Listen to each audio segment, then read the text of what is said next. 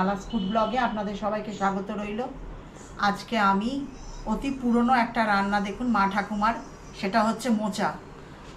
মোচার তরকারি করে দেখাবো, মোচা চিংড়ি। তো আমি তার জন্য একটা মোচা দেখুন আমি এভাবে ছাড়িয়ে রেখেছি। আপনাদের দেখিয়ে দিই কীভাবে ছাড়াবেন যারা বিশেষ করে নতুন, তাদের জন্য। এই দেখুন, এইভাবে নিয়ে এইভাবে খুলে দেবেন। এই যে। এই পাতাগুলো নিয়ে এইভাবে ছাড়াবেন। এই দেখুন। প্রত্যেকটা পাতা এইভাবে খুলে খুলে এইভাবে ছাড়াতে হবে। আপনাদের আমি দেখিয়ে দিই তার জন্য। ফুলটাকে এইভাবে নেবেন। দেখুন, ভেতরে একটা এরকম মোটা দানা আছে। এইটাকে সমেত এইটা নেবেন আর তার সঙ্গে দেখবেন এরম একটা সাদা মতন আছে।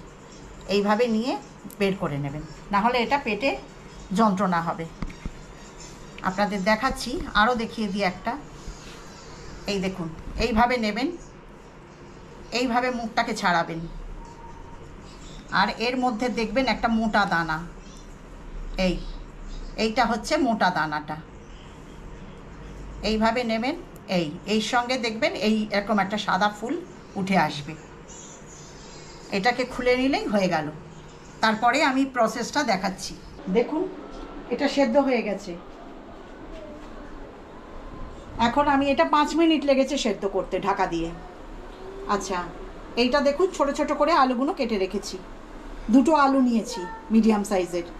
আচ্ছা এটা চিংড়ি মাছটা ছাড়ানোর পর চারশো গ্রাম আছে। দেখুন, এই সাইজের। এটা দুটো ছোট, মিডিয়াম সাইজেরই এটা টমেটো আছে। দুটো কেটে রেখেছি। লাগবে আমার নারকোল কুচি, দেখুন, এটা আমি গ্রেট করে রেখেছি, লাগবে গরম মশলা, ছোটো এলাচ, ডালচিনি, লং আচ্ছা লাগবে তেজপাতা, চিনি, এটা আমি ব্রাউন সুগার নিয়েছি, আপনারা নর্মাল চিনি ইউজ করে নিতে পারেন, এটা আদা বাটা ওয়ান স্পুন আর লাগবে জিরে, গোটা, এটা ফোড়নে দেব। এখন আমি টু টেবিল স্পুন দেখুন, সর্ষের তেল দেব। তার সঙ্গে একটুখানি আমি ওয়ান টেবিল স্পুন ঘি মেশাচ্ছি, যাতে এর গন্ধটা ভালো আসে। এখন দেখুন, তেলটা গরম হয়ে গেছে, আমি তেজপাতাটা দিয়ে দিচ্ছি। আর দিচ্ছি জিরেটা ফোড়নে।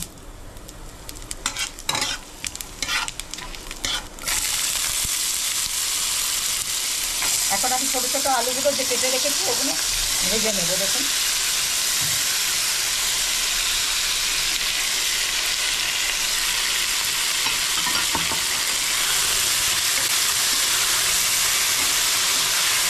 আলুটা দেখুন এতটা ভাজা হয়েছে। আমি এখন, আগে আমি এইটা সেদ্ধ করার সময় ওয়ান স্পুন নুন আর ওয়ান স্পুন হলুদ দিয়েছিলাম। তাই এখন আমি আর একটুখানি ওয়ান স্পুন নুন দিয়ে দিচ্ছি। হাফ স্পুন হলুদ দিচ্ছি। ওয়ান স্পুন আমি লঙ্কার গুঁড়ো দিচ্ছি। ওয়ান টেবিল স্পুন আমি জিরে দিচ্ছি। এখন আমি এর সঙ্গে চিনিটা মিশিয়ে দেব। আর আদা বাটাটাও মিশিয়ে দিচ্ছি। দিয়ে দেখুন, আমি নারকোলটাও দিলাম। এর মধ্যে দেখুন, এখন আমি চিংড়ি মাছটা মিশিয়ে নেব। যেহেতু মোচাটা সেদ্ধ করাই আছে আমার, আর এই টমেটো কুচিটাও মিশিয়ে দিচ্ছি। দিয়ে এটা ভালো করে কষে নেব। দেখুন, আমি সামান্যতম জল দেব। হাফ বাটির মতন জল দিয়েছি, ছোট বাটির।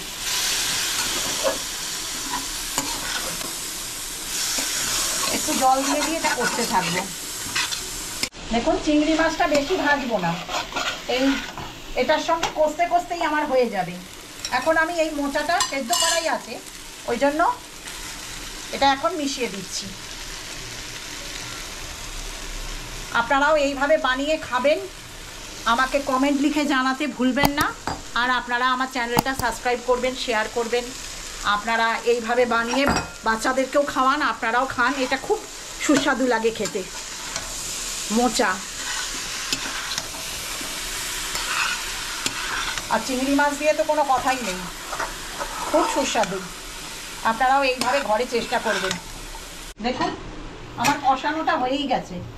আর আপনারা দেখুন, চিংড়ি মাছটা অসাধারণ সাইজ এইটার জন্য। এটা দুটো কলার মোচা।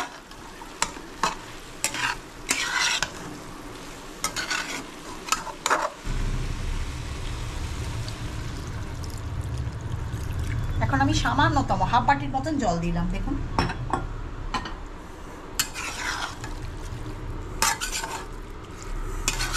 দেখুন, আমার মোটা চিংড়ি রেসিপিটা হয়ে গেছে। আর আপনারা যদি মনে করেন এটা নিরামিষভাবেও করবেন, তাহলে চিংড়ি মাছটা না দিয়ে বাকিটা আপনারা এইভাবে নিরামিষভাবে করবেন। তাতে কোনো অসুবিধা হবে না, খেতে আরও ভালো সুস্বাদু হবে। আপনারা এইভাবে প্লিজ বানিয়ে খাবেন ঘরে। যারা নতুন, তারা আশা করি এটা দেখে বানানোর চেষ্টা করবেন। আমাকে কমেন্ট লিখে জানাতে ভুলবেন না প্লিজ আপনারা সুস্থ থাকুন, ভালো থাকুন, আনন্দে থাকুন। আর আমি এখন দেখুন, এটা বন্ধ করে গরম মশলাটা দিয়ে দিব।